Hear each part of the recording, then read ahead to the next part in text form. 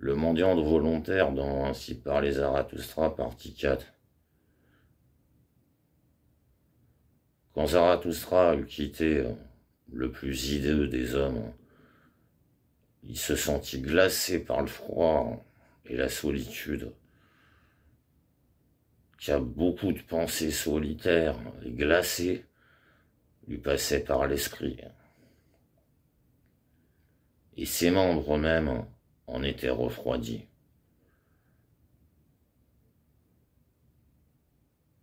Mais comme il continuait à avancer par monts et par vaux, tantôt, tantôt, tantôt longeant de verts pâturages, tantôt traversant des ravins sauvages et pierreux, où jadis quelques ruisseaux turbulents avaient dû faire son nid, lit.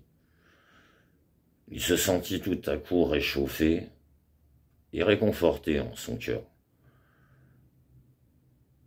Que m'est-il donc arrivé? se demanda-t-il. D'où vient ce souffle chaud et vivant qui me ranime? Ça doit être de tout près de moi. Déjà je me sens moins seul. Des compagnons, des frères inconnus, des frères, des compagnons, des frères inconnus rôdent autour de moi. Leur chaude haleine émeut mon âme. Mais comme il promenait ses regards euh, alentour, cherchant d'où lui venait ce réconfort dans sa solitude,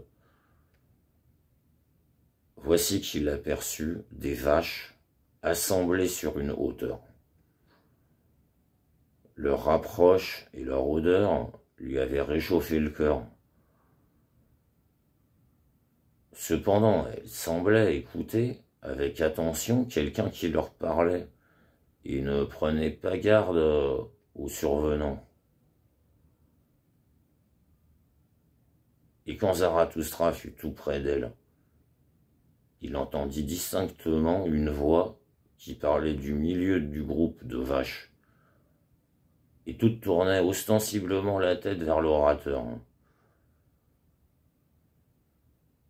Alors Zarathustra grimpa sur la hauteur et écarta les vaches, car il craignait, qu'il euh, ne fût arrivé malheur à quelqu'un que la pitié des vaches euh, ne pouvait guère secourir. Mais en cela il se trompait. Car voici, il vit un homme assis à terre et qui semblait exhorter les vaches à n'avoir point peur de lui, un homme pacifique, parmi euh, pareil à celui qui prêchait sur la montagne et dont les yeux prêchaient la bonté. Que viens-tu chercher ici? Dit Zarathustra stupéfait. Ce que je viens chercher, répondit-il. Ce que tu cherches aussi, trouble fait le bonheur sur la terre. C'est pourquoi je tâche de me faire instruire par ces vaches. Sais-tu bien que je leur ai parlé la moitié de la matinée? Et justement, elles allaient me répondre. Pourquoi viens-tu nous déranger?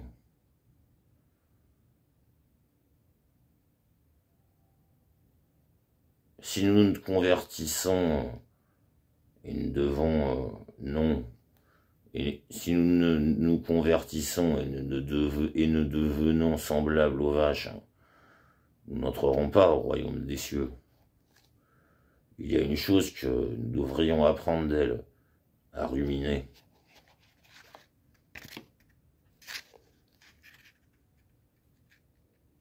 Et en vérité, que servirait-il à un homme de gagner le monde s'il n'apprenait pas cette euh, unique chose à ruminer, il n'y arriverait pas à se libérer de sa tristesse, de sa grande tristesse, dont le nom aujourd'hui est dégoût, Qui donc n'a pas aujourd'hui du dégoût plein le cœur, plein la bouche et plein les yeux Même toi, même toi. Mais regarde un peu ces vaches. Ainsi parla ce prédicateur en montagne, puis il regarda Zarathustra.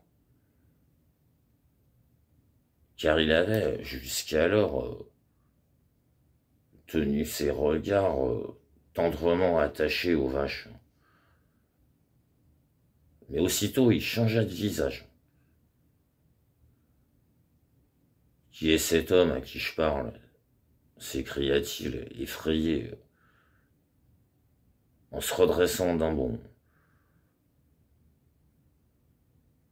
C'est l'homme qui ignore le dégoût, c'est Zarathustra en personne, celui qui a triomphé du grand dégoût. Ce sont bien les yeux, ce sont les lèvres, c'est le cœur de Zarathustra. Et tout en parlant, il baissait les mains, il baisait les mains de celui à qui euh, il parlait, et il se comportait comme s'il lui était tombé du ciel à l'improviste un joyau sans prix. Mais les vaches, voyant tout cela, s'en émerveillaient. Ne parle pas de moi, homme étranger délicieux, disait Zarathustra en se défendant contre sa tendresse. Parle-moi d'abord de toi. N'es-tu pas le mendiant volontaire qui a naguère renoncé à une grande richesse?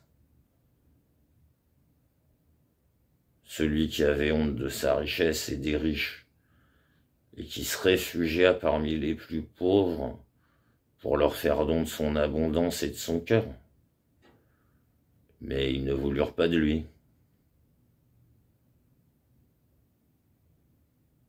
Mais ils n'ont pas voulu de moi, dit le mendiant volontaire. Tu le sais. J'ai donc fini par aller chez les bêtes et chez ces vaches. Et tu as vu alors, dit Zarathustra en l'interrompant, combien il est plus difficile de bien donner que de bien recevoir, et qu'il y a un art de bien offrir qui est la suprême et la plus subtile virtuosité de la bonté.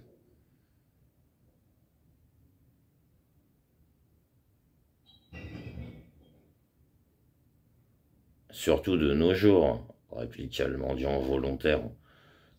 De nos jours, où tout ce qui est euh, bas est en état de révolte, farouche et plein d'orgueil, à sa façon, à sa façon populacière. Car l'heure est venue, tu le sais, lors de la grande insurrection de la populace des esclaves, lors de cette grande, maligne, logique et lente insurrection qui ne fait que grandir sans cesse. À présent, le moindre bienfait, la moindre largesse révolte les humbles, et ceux qui sont trop riches n'ont qu'à se bien tenir ceux qui ressemblent à des bouteilles ventrues, à goulot étroit, qui ne donnent leur contenu que goutte à goutte. On aime de nos jours à leur briser le col.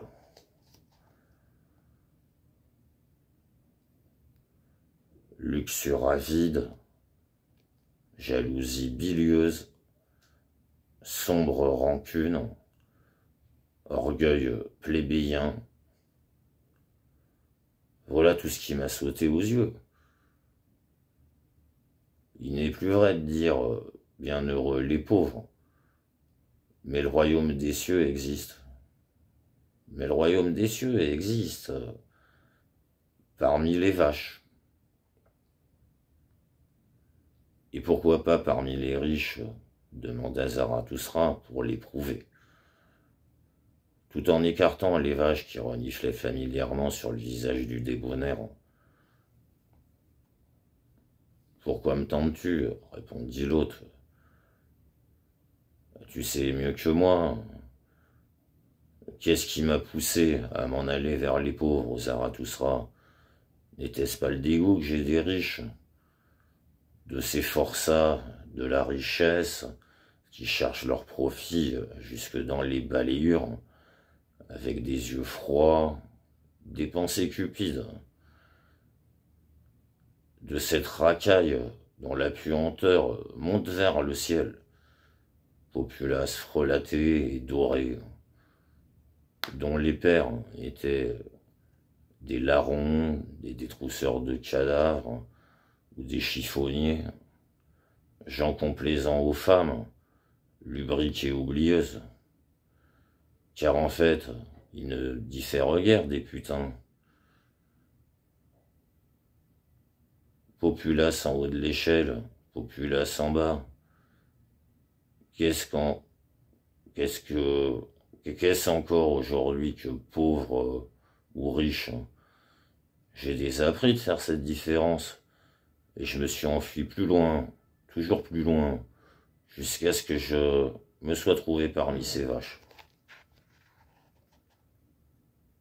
Ainsi parla le Pacifique, soufflant lui-même et suant à ses propres paroles, si bien que les vaches de nouveau s'étonnèrent.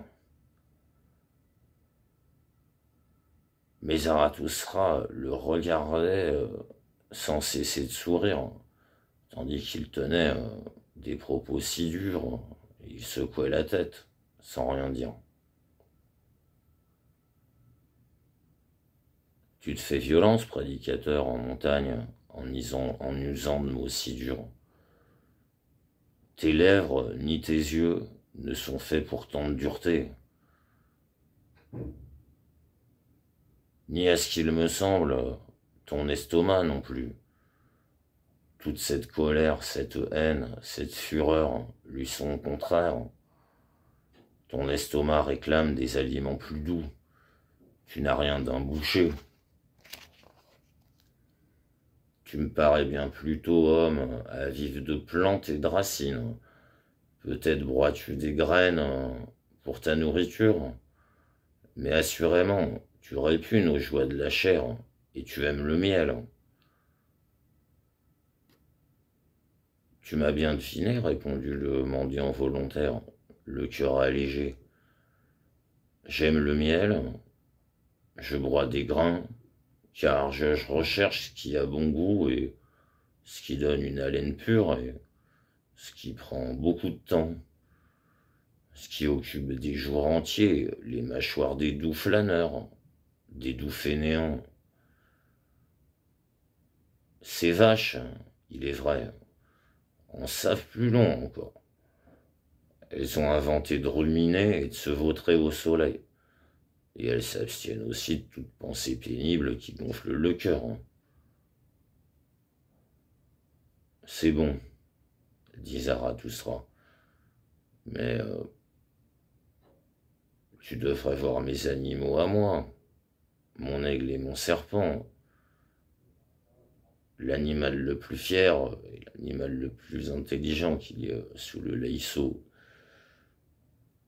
ils n'ont pas leur pareil, oui, sur Terre à l'heure actuelle.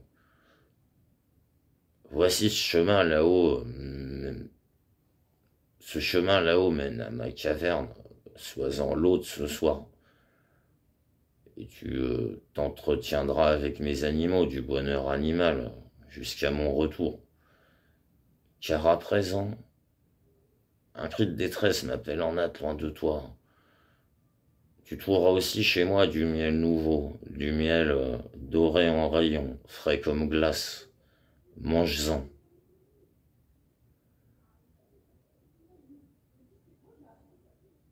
Mais maintenant, euh, prends vite congé de tes vaches, homme étranger délicieux, si dur que cela se soit, te soit, car tu as en elles tes meilleurs amis et tes meilleurs maîtres.